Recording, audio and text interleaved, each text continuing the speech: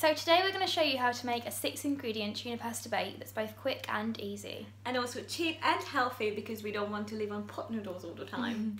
So all you need is dried pasta, tin of tomato, salt and pepper for flavoring and onion as well, two cans of tuna and a lighter cheese just to make it a bit healthier.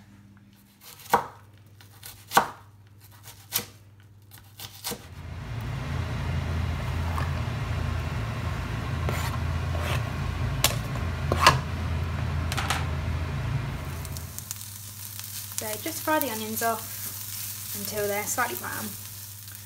So after your onions start to brown, transfer them over to a bigger pan just because you've got so many more ingredients coming. And then add your tomatoes.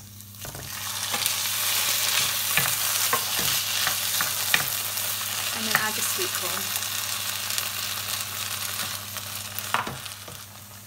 So you can either buy chopped tomatoes or you can get plum tomatoes like these. When you get plum tomatoes, you can leave them whole, but we prefer them chopped.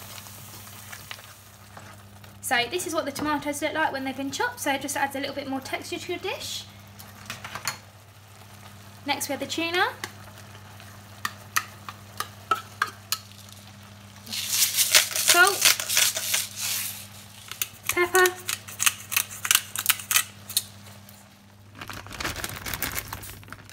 So start with a bit of your tuna mix. Then add the pasta.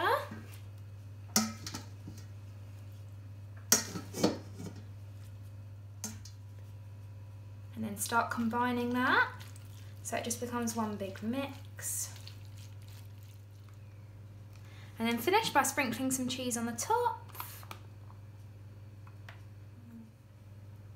And this is the final product. Can't wait to have it.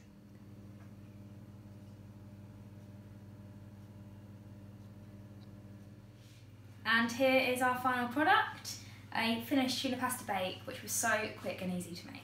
So this is just came out of the oven and it smells absolutely amazing. Hope you guys will enjoy it as well. Thank you so much for watching our video on how to make a tuna pasta bake. We hope you enjoyed it and we hope you're going to make the most of that. And make sure you don't forget to subscribe and leave any comment down below if you have any question about how to making how to make the tuna pasta bake. Don't forget to watch our next video, link here. And thanks for watching. Bye. Bye.